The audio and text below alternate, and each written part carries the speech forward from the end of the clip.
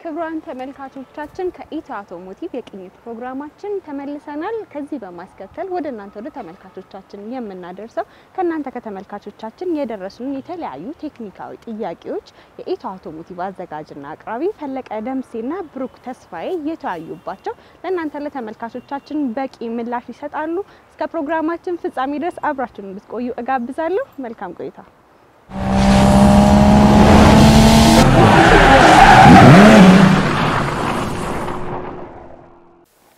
ሰላም ጤና ይስጥልኝ ተመልካቾቻችን፣ እንደምሰነበታችሁ።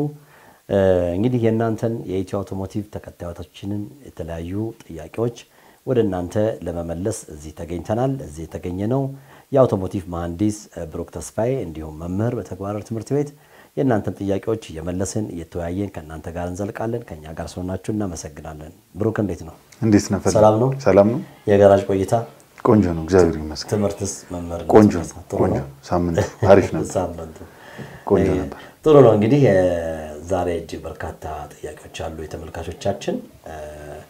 እስቲ ከአንዱ ከድምፅ ጥያቄ እንጀምር። ዮሴፍ ሙሉ ቀዳማ ነው። ሁለት ሺህ አንድ ሞዴል ናት። ቪትስ ናት። ጠዋት ጠዋት ሳትነሳ ይርገፈገፋል እና ይጠፋል። ነዳጅ ደግፈዋለሁ። ከዛ ድጋሚ ይጠፋል። ሁለት ሶስት ነው ይሰራል። እንግዲህ የ2001 ሞዴል ቪትስ መኪና ነች። ያው ጥያቄውን እንደሰማ ሆነ ይርገፈገፋል ነው ሰዎች ጥያቄ ነው። አዎ የአቶ ዮሴፍ ጥያቄ ጧት ሳስነሳው ይርገፈገፋል፣ ነዳጅ ደግፌ ነው ማስነሳው ነው ያሉን። ይሄ ማለት መጀመሪያ check ልናደርግ የምንችለው ከቀላል ነገር ስንጀምር ምን ምን አሰርቷል የሚለውን መጀመሪያ ለሳቸው ጥያቄው። ከዛ በፊት ግን check ሊደረጉ የሚገቡ ነገሮች አሉ። ከ spark plug ጀምሮ ከዘይቱን check ማድረግ አለብን። ሁለተኛ አየር ማጣሪያ ውስጥ ignition coil ኦች ውስጥ እንዴት ናቸው? ignition coil ኡ ይሰርቃል ወይስ አይሰርቅም እሳት የሚለውን check ማድረግ አለብን። መካኒኩ ወይም መፈተሽ አለበት። ይሄ የአራቱም ቤት ignition coil ከተፈተሸ በኋላ ማይሰርቅ ቤት ከሌለው ወዴት ነው የምንሄደው? ካንዴላዎቹ ጋር እንሄድና ካንዴላዎቹን በ feeler gauge check ማድረግ አለብን። ካንዴላዎቹን የ gap ኡን check ማድረግ አለብን። ከዛ ውጭ ደግሞ throttle body ው ምናልባት በዚህ case ቆሽሾ ሊሆን ስለሚችል throttle body ውንም በ carburetor cleaner በደንብ ተደርጎ መታጠብ አለበት። አየር ማጣሪያውን ብቻ ስለቀየሩ ሰርቪስ ስለተደረገ ብቻ ይሄ ነገር ይመለሳል ማለት አይደለም። ዘይት ብንቀይርም ካንዴላው ቢቀየርም throttle body ው ካልታጠበ ቆሻሻ ስለሚደፍነው ምንድን ነው የሚሆነው? ይሄ ባህሪ ሊታይበት ስለሚችል ከዛ ውጭ ደግሞ fuel pump ኡን check ማድረግ አለባቸው መካኒኮቹ። pressure ኡ ምን ያህል እንደሆነ ምልክቱ እንደዛ ነው የዚህ ፊት እንደው ከዚህ ጋር በተያያዘ አንድ አቶ አዳሙ ተክሉ የተባሉ ጠያቂያችን በ text የላኩልን ሰርቪስ ይደረግ ሲባል ምን ምን ያካትታል ይላል። ይሄ ብዙ ሰዎች ጥያቄ ነው እና አንዳንድ ሰዎች ዘይት መቀየር ብቻ ይመስላችኋሉ። አንዳንድ ሰዎች ደግሞ እግር ብቻ መበተን ይመስላችኋሉ። I think ሁሉም ጋር ባይባልም አልፎ አልፎ ገራዥም በቃ ሰርቪስ ስትል ያችን ብቻ ቀይረው ነው። በእርግጥ መኪናዎች ከዘይትም ብዙ ጊዜ ገልጸነዋል። ወደ ገራዥ በሚገቡበት ሰዓት ተፈትሸው ቢሆን ጥሩ ነው እና ጊዜያቸውን ጠብቀው ግን ከዚህ ጋር በተያያዘ እንደው ይህን ጥርት ለማድረግ ምን ይመስላል? አዎ ይሄ እንደ ሀገር ያለ ችግር ነው። በነገራችን ላይ የተወሰኑ ድርጅቶችና ግለሰቦች ካልሆኑ በስተቀር ተሽከርካሪዎችን በጊዜው እና ጊዜውን ጠብቆ ሰርቪስ ማድረግ ከውጪ ለመዳን ነው አደለ ፈል ስለዚህ ይሄ ደግሞ ወሳኝ ነገር ነው። መኪናው ላይ at least ውጭ ሀገር ምንድን ነው የሚደረገው? list አለው መኪናው የራሱ ከዚህ በፊት ምን እንደተሰራ ምን እንደተቀየረ መቼ ሰርቪስ እንደተደረገ መቼ ቀለም እንደተቀባ እያንዳንዱ ነገር ምንድን ነው የሚሆነው list ይደረጋል፣ ይመዘገባል። መኪናው ለሌላ ሰውም ለሶስተኛ ወገን ሲሸጥ ምንድን ነው የሚሆነው? ለሌላ ሰው ሲሸጥ ምንድን ነው የሚሆነው? ከዚህ ከዚህ በፊት የተሰራውን ጭምር ነው ገዢው አይቶ በመተማመን የሚገዛው። ይሄ እኛ ሀገር የለም። ስለዚህ ቢኖር ይመረጣል። ምናልባት እንግዲህ ያው እንደ ውይይት ነው። አንዳንድ ጊዜ እንዲህ ባለው ፕሮግራማችን challenge ስለማድረግ በርካታ company ዎች በተለይ የውጭ company ዎችም ትልልቅ company ዎችም ስም መጥቀስ ያስፈልግ መጥቀስ ይቻላል የዚህ system አላቸው የመመዝገብ። ሁለተኛ ደግሞ ወደ ግሉ ዘርፍ ስትመጣ የተወሰኑ የግል ዘርፍ ያሉት በደንብ መዝግበው መቼ ነው ሰርቪስ የተደረገው ምናምን ምናምን ብለው ባለቤቱን ሲመጣ እንደውም አሳልፈሃል ምናምን የሚሉም አሉ እና ግን እንደ majority ከወሰድከው እኛ ሀገር አንተ እንዳልከው በዘልማድ ነው የሚሰራው። በተለይ ወደ ክልል ላይ ብትሄድ በቃ ይሄ ቆርጧል፣ ይሄን ቀይረው ምናምን የሚባል ነገር አለ። ብዙ ሰዎች እንደዚህ አይነት ነገር ይቸገራሉና ይሄ አገሪቷም ላይ ብቁ በቂ ባለሙያ አለመኖሩን ነው የሚጠቅሰው። plus ደግሞ እናንተም አሁን ከተለያዩ ተቋማት የሚወጡ ሰልጥነው የሚወጡ ባለሙያዎች ደግሞ ስራ የማግኘት እድሉን ዘርፉ ያለ መስፋፋት ጋር ይታያል እና ለእነሱም credit ለመስጠት ነው እነ ሞየንኮ፣ ናሽናል ሞተርስ እና የኳትራ ቢዝነስ ብርጉፕ በጣም ትልልቅ company ስላሉ እነሱ ቅር እንዳይላቸው በደንብ ይመዘግባሉ። computerized ነው እንደውም የሚመዘገብ አለ። እንደውም አንዳንድ ላይ ግን ደውለው service ሰዓትህም ደርሰዋል እና ለምን አትመጣም ማለትም ጀምረዋል። አዎ ሙሉ የለም ማለት አይደለም አሉ። አንዳንድ ግለሰብ ጋራጆችም አሉ ጊዜ ጠብቆ ደውለው የሚያስታውሱ። ግን majority ው አዎ በዛ ሲኬድ normally ግለሰቡ ራሱ ባለመኪናው ምንድነው ወይ ዘይቱን ብቻ ይዞ ሄድና ፊልትሩ ሳይቀየር ዘይቱን ሊቀይርልህ ይችላል። ስለዚህ ይህን ቀይረው ስትል ደሞዝ አልደረሰም ምን ይልሃል አብዛኛው ሰው። ከዛም ጭምር ስለሆነ ለመኪና የተሻለ የሚሆነው ምንድነው ትክክለኛ በኪሎ ሜትር ነው የሚቀይረው በወር ነው። እንዴት ነው ይህ ባለ ንብረት የሚቀየረው የሚለው ጥያቄ ውስጥ መግባት አለበት። ግን መሆን ያለበት በኪሎ ሜትር ነው መቀየር አለበት የሚሻለው። ለምን ምን ያህል በቀን ውስጥ አንድ መኪና ብዙ ሳታውቀው ልትነዳው ትችላለህ፣ ወይ ረጅም ርቀትም ሊሄድ ይችላል። ግን ያን ኪሎ ሜትር አይተን ነው ዘይቱን ልንቀይር የምንችለው። ያ ማለት ደግሞ ቀኑ ሙሉ ላትነዳውም ትችላለህ። ስለዚህ በግምት መቀየር ለመኪናው ጉዳት ነው። ስለዚህ service ሲደረግ ሲባል ምንድን ነው የሚያስፈልገው? አዎ service ሲደረግ ማለት የሄደበት ኪሎ ሜትር ታይቶ የመጀመሪያው ዘይት ነው። ዘይትና ፊልትሮ ግዴታ ነው።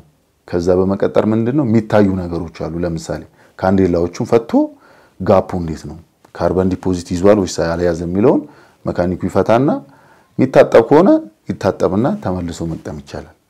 የተበላ ነገር ካለው gap ኡ በጣም የሰፋ ከሆነ ደግሞ መቀየር ሁለተኛ ደግሞ injection nozzle ኦቹን at least በየሄደበት ለ service ለዘይት በመጣንበት ወቅት ሁሌ ማሳጠብ ሳይሆን ምንድነው በተወሰነ range ቢታጠብ የተሻለ ነው። injector nozzle ኦቹን እና አየር ማጣሪያው የመኪናውን አየር ማጣሪያ የሄድንበት መንገድ ይወስነዋል። በጣም አቧራማ አካባቢ ነው ወይስ ከተማ ውስጥ ነው የሚለውን በየጊዜው ቢፈተሽና check ቢደረግ እነዚህ ቀላል የሆኑ service ኦች ናቸው።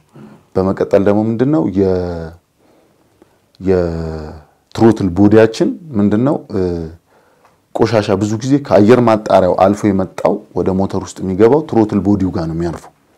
ስለዚህ ይሄ ቆሻሻ throttle body ውስጥ ይገባና ምንድነው የመኪናውን ጉልበቱን የመያዝ ባህሪ ስላለው እነዚህ እነዚህን check ብናስደርግ በጣም የተሻለ ነው። በቤንዚን መኪኖች ማለት ነው። በናፍጣ ሲሆን ደግሞ ናፍጣ ፊልትሮም ስላለው ከናፍጣ ፊልትሮ ከአየር ማጣሪያው እና ከዘይቱ ጭምር ቢቀየር የተሻለ ነው። ወደ እግር አካባቢ ስንመጣ ያው እግር ላይ ብራቾዎች አሉ።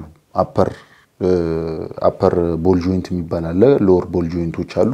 እነዚህም በ checkup ፍሬን ሸራውን፣ ዲስኩን ወደኋላ ስንሄድ ታምቡር ያላቸው መኪኖች አሉ። ዲስክ ሊሆን ይችላል። ግን ሸራዎቹን በ check በማድረግ የተበሉ ነገሮች ካሉ በመቀየር መኪናውን ከከፋ ወጪ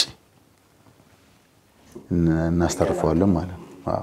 ሶስተኛው ደግሞ ምንድነው AC AC air cleaner አለው AC ጋቢናችን ውስጥ ይሄም ለ service ወቅት check ሲደረግ ምንድነው ይወጣና በጣም ከቆሸሸ ቢቀየር የተሻለ ነው። በጣም የቆሸሸ አይነት ከሆነ ሲታይ ስለሚያስታውቅ፣ ካልሆነ ደግሞ ምንድነው በ compressor ንፋስ ብናስመታው የተሻለ ነው የሚሆነው። ልክ እንደ engine air cleaner ኡ የ AC cleaner አለ ጋቢና ውስጥ ይህንን እንትን ማለት እንችላለን።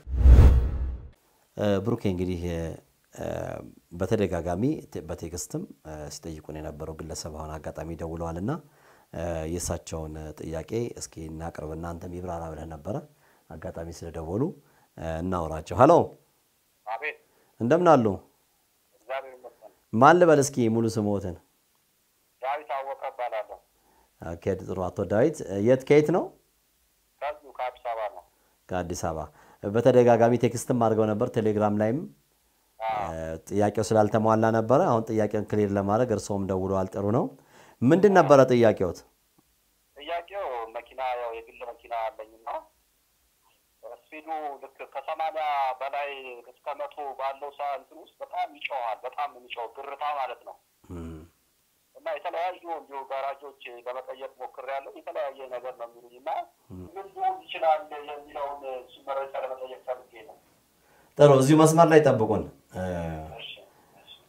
ብሩኬ የጥያቄያቸው እንግዲህ ያው እስከ ሰማንያ እስከ መቶ ግርት አለው። ከዛ በኋላ ሲሆን ደግሞ ይጠፋል ነው። ምናልባት እንትን balance አሰርተዋል እንዴ መኪናው ምን አይነት ነው? balance አንድ ጊዜ ከአንድ ከስድስት ወር በፊት አሰርቻለሁ የፊቱን የፊቱን?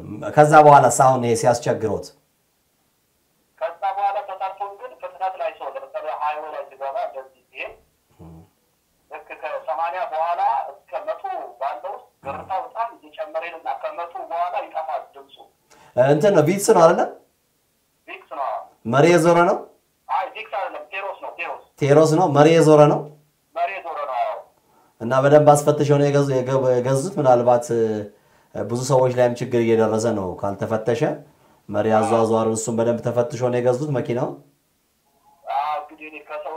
የገዛሁት ምን ያህል ጊዜ ይሆናል ከገዙት?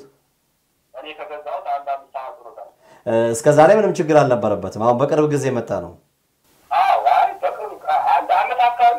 ብቻ አይነት ድምፅ እኔ ብዙ ስለማልወጣና ፍጥነት ላይ ብዙ ስለማልሄድ እንጂ አሁን ከሰማሁት እንዲህ አይነት ድምፅ መስማት ከጀመርኩ ዓመት አካባቢ ሆኖታል። ደንበኛዎት ምን አሉት? መኪን መካኒኩ ሲነግሩት ደንበኛ እንትን ስለው አንደኛው ሁለት ቦታ ነው የሄድኩትኝ። አንደኛ ብዙ ጊዜ የሚሰራልኝ ሰው አውቶማቲኩ ላይ ነው አውቶማቲክ እንትኑ ላይ እዛ ላይ ነው ሊሆን የሚችለው ነው የሚለው እሱ። እ፣ አሳ አንድ አንደኛው ደግሞ እንደዚሁ እዛ አካባቢ ላይ ስጠይቅ ከእሱ ብዙ ጊዜ የማልሄድበት ቦታ ነው እና የፊት የትራንስሌሽን ሬዲዮታ የሮዶታ ክሮቸሪያው ነው እሱ ነው እንደዛ እንትን የሚያደርገው እንዲህ አይነት ድምፅ የሚያመጣው እሱ ነው አለኝ እና ግራ ስለገባኝ ለዚህ ነው ወደ እናንተ የደወልኩት። እኮ ግን እርምጃ ወሰዱ። ከዛ ምንም ሙከራ የተደረገ ምንም አልወሰድኩም መኪናቸው ቴሮስ ነው። ከ80 እስከ መቶ ግርት አለው ነው ጥያቄያቸው። በመካኒክ አሳይተው ምንም እግር ላይ alignment ነው እንጂ ከስድስት ወር በፊት እሱንም alignment ነው ያሰሩት። ከዛ ውጪ መኪናውን አላስፈቱትም። ስለዚህ እ፣ ይሄን ግርታ check ለማድረግ ብዙ check የምናደርጋቸው ነገሮች አሉ። መጀመሪያው alignment ካሳዩ በኋላ alignment ኡን ሲያልፍ መኪናው ከ alignment ኡ በፊት የመጀመሪያው ball joint ኡ check መደረግ አለበት። ይህ መኪና እግሩ ላይ ball joint ኦቹን steering ball joint እና lower arm ball joint ኡ check መደረግ አለበት። እነዚህ ball joint ኦች ወይም ቴስቲኒ የምንላቸው ሲበሉ እንዲህ አይነት ድምፅ ያመጣል። ግርታ ስላለው እንዲህ አይነት ድምፅ ሊያመጣ ይችላል። ስለዚህ ግራና ቀኙን ball joint ኡን check ማድረግ ነው። የመኪናውን ቴስቲኒና የብራቹ ቴስቲኒና የመሪ ቴስቲኒ check ቢያስደርጉ ባይ ነን። ሁለተኛው ደግሞ መኪናው ሮዶታ ያለው መኪና ነው። ስለዚህ መካኒኮችም ያሉት የ propeller shaft ኡ ሲበላ እንዲህ አይነት ድምፅ ልክ ናቸው። propeller shaft ምናልባት የሚበላ ከሆነ እንዲህ አይነት ድምፅ ስላለው propeller shaft ኡን check ቢያስደርጉት። propeller shaft አንዳንዴ ስለሚበላ grease ም የማይደረግበት ከሆነ grease አድርገው check ቢያደርጉ የኋለኛውንም የፊተኛውንም grease check ቢያስደርጉ። ሶስተኛው ደግሞ የፊት እግር ላይ bearing አለው ይሄ መኪና። ይሄ bearing የፊት እግር ላይ ያለው bearing ሲበላ እንዲህ አይነት ግርታ አለው። ስለዚህ መኪናውን ከገዙት አምስት ዓመታቸው ነው። ይህን ያስቀየሩ አይመስለኝም ምናልባት። ስለዚህ እነዚህን check ካደረጉ በኋላ ምንድነው bearing ኡን check ቢያስደርጉ የተሻለ ይሆናል። እነዚህን bearing ኡን propeller shaft ኡንና ቴስቲኒዎችን check ካስደረጉ በኋላ መኪናው ላይ ለውጥ ይኖረዋል ብለን ተስፋ እናደርጋለን።